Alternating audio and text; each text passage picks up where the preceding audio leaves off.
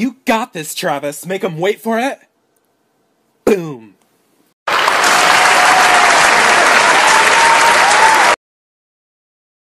Hello, I'm the doctor. How are you? Doctor, I'm sick. Oh no, what's wrong? I think I have a problem with my chest. I don't care. Thank you, doctor.